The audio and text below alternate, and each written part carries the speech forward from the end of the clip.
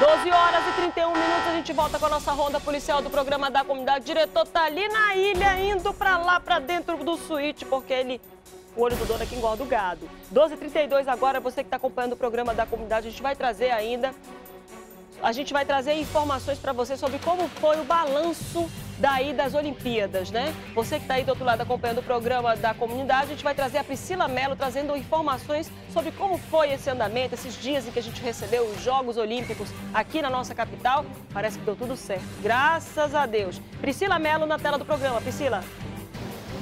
Pois é, os jogos pelo torneio olímpico já acabaram aqui na cidade e oito delegações passaram por Manaus. E durante esse período, cerca de 50 órgãos trabalharam para garantir a segurança das delegações e da cidade. Nós já estamos com com aquele gosto de dever cumprido e isso se dá ao esforço de cada um, cada homem e mulher. Eu gostaria de agradecer a todos os envolvidos, mas assim fazer um parênteses especial para o pessoal do sistema de segurança pública, cada cada policial militar, cada policial civil, bombeiro militar, é, pessoal do Detran, nossa, eu gostaria de agradecer muito.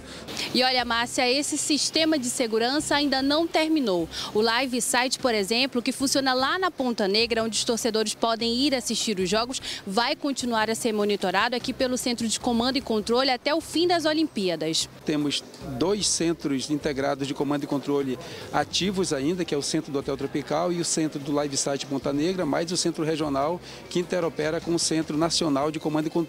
Ao todo, todo, 17 mil pessoas dos órgãos estaduais, federais e municipais fizeram parte desse trabalho durante os Jogos do Torneio Olímpico aqui em Manaus. Priscila Mello para o programa Agora. Obrigada, Priscila Mello. Ainda bem que deu tudo certo, mas solta essa sirene, Ricardinho, que a gente vai trazer informações de polícia. Lembra que a gente trouxe para você uma rebelião, um motim que teve lá em Iranduba, porque a polícia tinha acabado de descobrir que alguns presos estavam envolvidos numa tentativa de fuga? História que se repete em Novo Airão. Na manhã de ontem, oito presos fugiram da delegacia, só que dessa vez, para eles, deu tudo certo, infelizmente. Os presos cerraram a parte superior das grades de uma das celas e fugiram utilizando uma famosa Teresa, que é uma corda feita com lençóis e redes. Os criminosos respondem por crimes graves, viu? Crimes de alta periculosidade, são criminosos de alta periculosidade. Tráfico de drogas e roubos. A polícia do município já iniciou as investigações para encontrar os foragidos. É, em dois dias, esse é o segundo caso, como eu trouxe para você.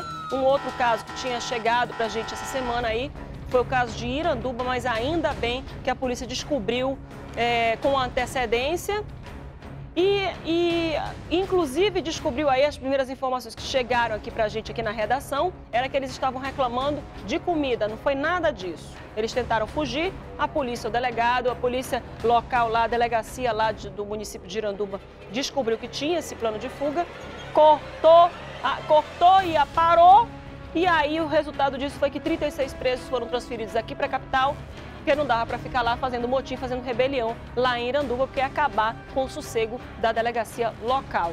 Enfim, infelizmente, oito presos fugiram em Novo Airão e a gente espera que o mais rápido possível a polícia local localize esses presos. São 12 horas e 35 minutos. Você que está aí do outro lado acompanhando o programa da comunidade.